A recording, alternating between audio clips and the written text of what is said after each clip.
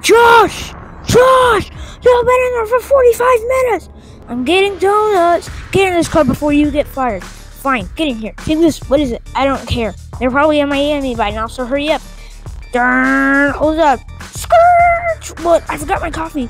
I don't care. I'm gonna fall asleep. Five minutes later.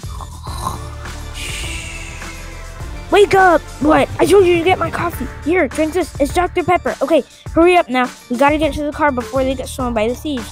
Let's go. I see them. They're going to be on downtown in 99. Who's downtown in 99? The ice cream truck.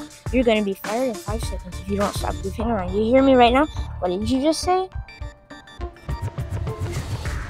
Um, did you like not hear me? What I just said?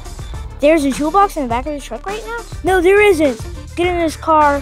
Where am I right now? You're not smart right now, are you? Ten minutes later. I need my coffee. Your coffee at the shop. It's 10 in the morning, and it's so, you got it at 10 in the morning. It's only 2. Hey, boss, when are we gonna stop? I don't know. Once we find the villains, we will. Oh, yeah, well, I kind of need to go to the bathroom. Darn, skirt! You can be very annoying, don't you know that? Yeah, it's my favorite subject. Also, being annoying is my thing, bro. Your vision is ice cream truck. Now hurry up. You wanna hear a joke, Josh? Yeah, what is it? What do you call an annoying person that doesn't listen to the boss? What? Crime fighting cop Josh. Oh hey Siri, very annoying people in the world. What are they called? Quit playing on my phone. I didn't I didn't know you had games on your phone. I was just checking it out. Just creepy. Don't you know that, Josh? Yeah, I like creepy. Creepy is fun. No wonder you're single.